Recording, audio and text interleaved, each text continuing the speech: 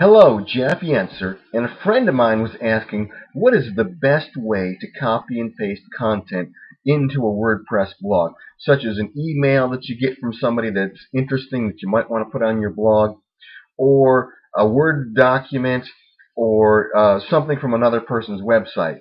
Now, first of all, I will mention I do not recommend copying content from other people's website Google does not like duplicate content, and Google can penalize you in the search engines if you're copying and pasting content from other people's websites. Now, if you're going to modify it by adding commentary or something like that, then it can be a good thing. But otherwise, I don't recommend it. Um, so let's show how to copy and paste here the best way. Um, first of all, I am just editing a post. You can see I'm in the edit post mode in the WordPress uh, backend here. On the end here, I've got a little icon called Show Hide Kitchen Sink. I'm going to click on that to reveal the second row if it's not already showing. If it's already there, you don't need to click that because I'm going to use one of these buttons in a second here. Now I'm going to go over to an email message that I got and uh, go ahead and just highlight some of this text. I'm going to right click on it, select copy, come back to my blog, and what I'm going to do is I'm going to click on this little box right here with a little T that's in it.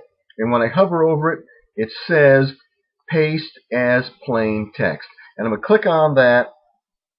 And it says right here use Control V, which is the just the keyboard shortcut for paste. Same as paste. And then I'm going to click insert. And there it is. It's in my document. And it's in there as plain text. And I like to use this because whenever you take something that has formatting in it, this actually strips the formatting out of it, like colors of text and different things, because when you try to paste stuff like that into WordPress, you get very unpredictable results, and it can just look like a complete mess, add a whole bunch of code to the page that then is just a struggle to work with.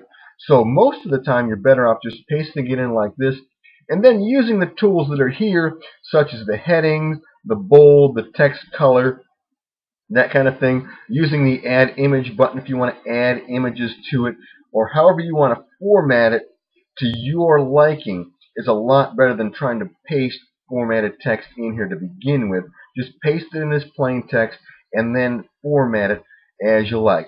Same thing applies to something coming from a Word document, especially Word is notorious for putting all kinds of crazy code that really can make your site look like crap. And so I like to use this paste as plain text feature and then I can go ahead and edit away to my heart's content how I like it.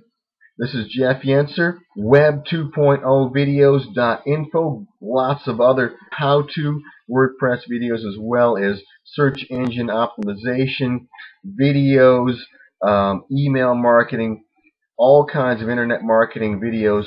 Go on over, check them out, and learn some cool stuff. Thanks for watching.